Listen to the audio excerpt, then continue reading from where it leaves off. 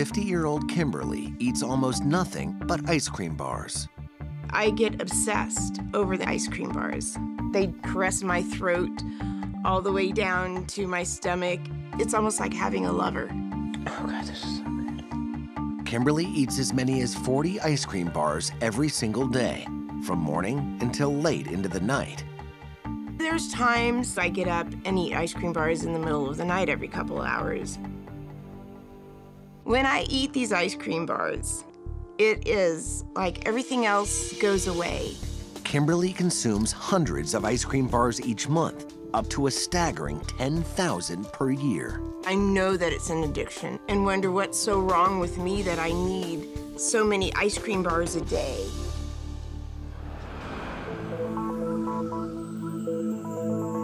With nowhere else to turn, Drew has asked freaky eater specialist Dr. Mike Dow and JJ Virgin to intervene for a week of intense therapy.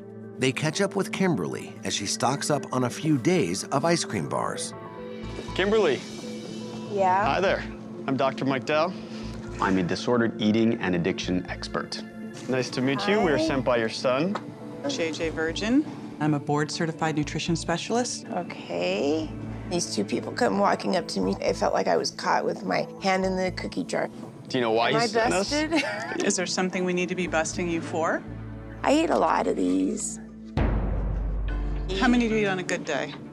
Three boxes? Two boxes? Three boxes, so Two boxes. 18. And on a bad day?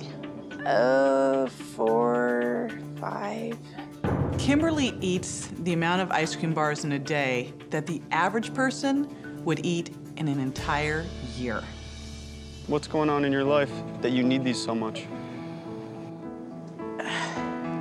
I cut loose the husband in my life. And instead of feeling liberated, I just kind of like went into this tailspin. I went through kind of a meltdown. Kimberly has built a wall of ice cream bars around herself to keep herself safe from the rest of the world. Are you living right now or are you existing? I'm existing, barely. Do you want to change? Yeah. What are you willing to do? At this point, I'm willing to do anything. Okay, well, let's go. Come Okay? with us. Come on. Okay. Kimberly is putting her life in a deep freeze, and we want her to see that. Dr. Dow Dowd to get something. He's coming on over here. It's time for some shock therapy.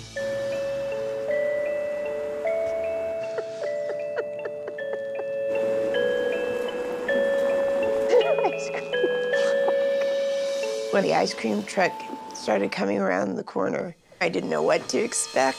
There is something we wanted to show you. We thought, what better way than to bring it in an ice cream truck? I didn't bring out an ice cream bar treat. I brought out something different. I wanted to show Kimberly what she is doing to her life. We brought a block of ice, and it's not just a regular block of ice. There's something here. Oh. there she is. That's you. yeah. Looking up at me was my favorite picture of myself with my children. The happy, vibrant person that I used to be. So get her out of there. Let her rip. Yeah. Kimberly smashing that ice is symbolic of this journey. She's gonna have to smash through things that she has never dealt with in her life. What's she saying to you? Let me out, I want to play. You wanna live. Mm-hmm. We have one more thing we wanna show you. Come with us. The most important thing for Kimberly to get is the sheer volume of ice cream bars that she eats in a year. We've taken your ice cream bar sticks and laid them one after the next after the next, and we are going to walk that trail. Okay.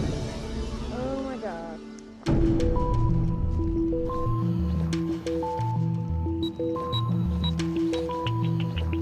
So that's about 10% of the ice cream sticks you eat in a year. It was very surreal to see the amount of ice cream sticks that kept stretching and stretching. This is a long trail. It was a very stark reminder this is my life. The end of the trail. 9,996 ice cream bar sticks, 1,200 yards, 12 football field lengths. That's what we just walked. That's how many ice cream bars you eat in a year. Thinking of eating 10,000 ice cream bars in a year makes me feel physically ill.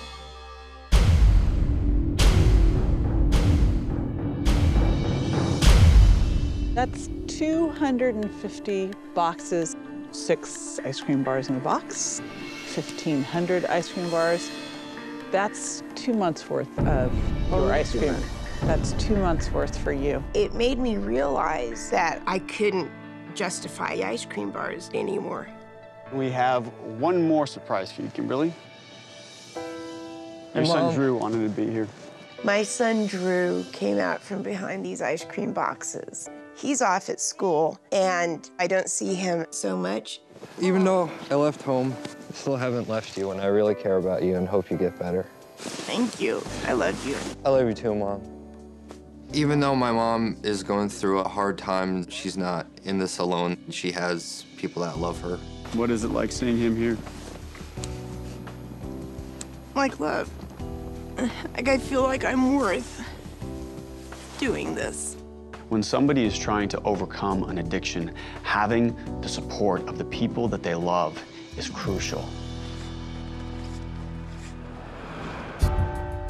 After the shock therapy, Kimberly is very ready for the next step. I really want Kimberly to know that she deserves, like any human being, to be happy. I wanted to remind you of what your life used to look like. How does that woman look? Happy. But you were happy because what you were doing in your life. Seeing the slideshow brought up a lot of feelings that I had forgotten. It felt like welcoming back an old friend I hadn't seen for a long time. Do you remember your mom then? Drew? Yes, I do. She's a very uh, fun-loving, free-spirited person. And when you were doing things, you were happy? Absolutely, yes. When we don't fill our life with things, bad things just sort of creep in. Kimberly has a life that is devoid of relationships. So she's filled her life with eating ice cream bars alone on the couch. When you feel happy with your son, there is no craving to eat ice cream bars. Then So how do we use that information and how do we apply that to your life? it's about substituting something good and nurturing in a emotional and spiritual way from something that really is not nurturing me. That's exactly right. The more we can fill Kimberly's life with the things that are going to give her a sense of purpose, passion, pleasure, the less ice cream bars she will eat. We need to start filling your life with relationships, with activities. We need to change your own relationship to food. Are you a little bit hopeful that we can do this now? Yes, I am.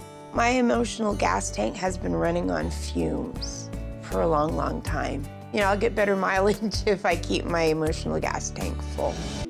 10 years ago, Kimberly underwent gastric bypass surgery, which makes the stomach smaller and reduces appetite. A normal person's stomach is 1,000 milliliters. Kimberly's new stomach is 30 milliliters. That's small. Yet she continuously pushes too much food into it. There's your stomach. Right. Okay, all right. I knew that my stomach had been cut smaller. I never had seen it in that perspective that it was basically the lid and the neck of a bottle. What happens then when you take two ice cream bars and put it into your new stomach? Doesn't fit. When you've had gastric bypass surgery and you overeat, it's rapidly let into the small intestine, which shoots up your blood sugar. And that's really bad for someone with type 2 diabetes. Now, what did you tell me you did on a bad day? Oh my gosh. I pulled out 20 cups worth of ice cream bars. 40 ice cream bars. Uh-oh, it doesn't fit though.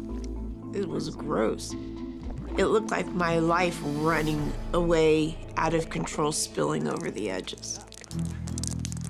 You're drowning in ice cream.